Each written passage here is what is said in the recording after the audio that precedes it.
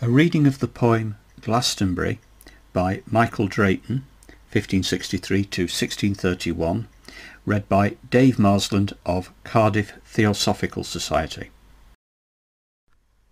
O three times famous isle, where is that place that might be with thyself compared for glory and delight? Whilst Glastonbury stood, exalted to that pride, whose monastery seemed all other to deride. O who thy ruin sees, whom wonder doth not fill, With their great fathers' pomp, devotion, and their skill? Thou more than mortal power, this judgment rightly weighed, Then present to assist at that foundation laid. On whom for this sad waste should justice lay the crime? Is there a power in fate, or doth it yield to time?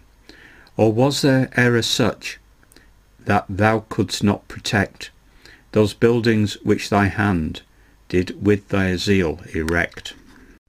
To whom didst thou commit that monument to keep, that suffered with the dead their memory to sleep?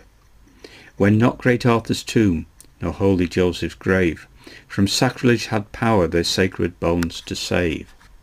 He who that God in man to his sepulchre brought, or he which for the faith twelve famous battles fought, what, did so many kings do honour to that place, for avarice at last so vilely to deface? For reverence to that seat which had ascribed been, trees yet in winter bloom, and bear their summers green.